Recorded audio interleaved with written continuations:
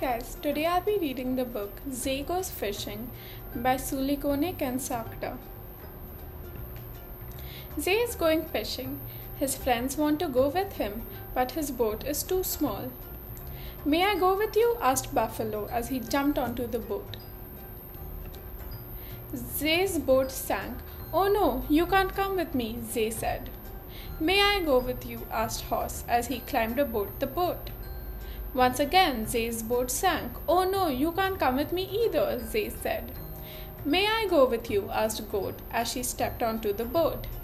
Xay's boat sank. Oh no, you can't come with me either, Xay said.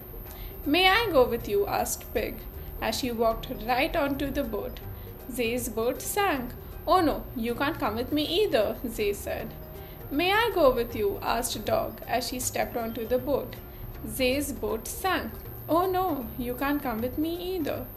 May I go with you? asked Cat as he nimbly leapt onto the boat. Xay's boat didn't sink. Yes, you can come with me, Xay said. Xay and Cat went out to fish in the middle of the river. They fished happily and caught a lot of fish. After a while, Xay and Cat began to miss their friends they had left behind on the shore. They rowed back to their friends on the shore. They all fished happily by the riverbank. Thank you.